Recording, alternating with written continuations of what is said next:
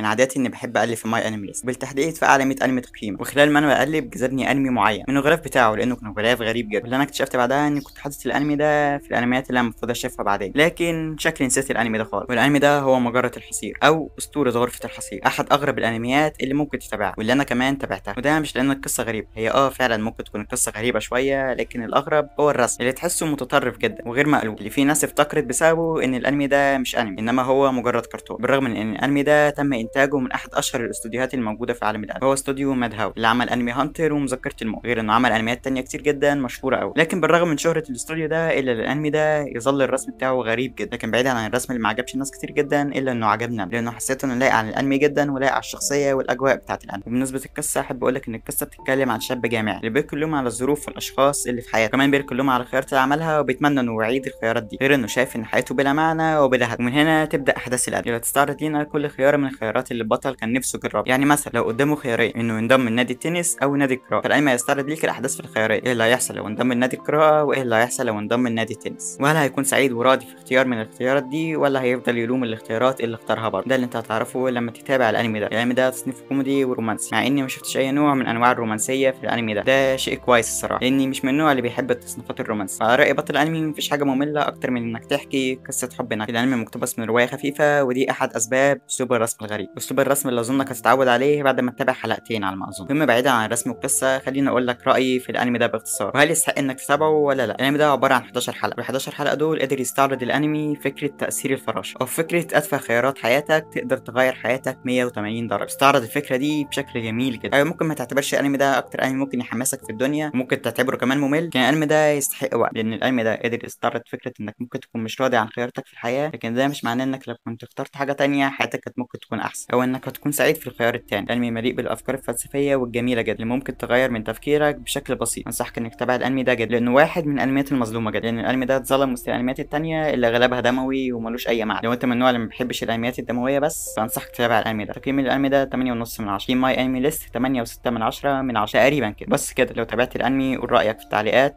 ولو أنت جديد ما تنساش تشترك في القناة. سلام.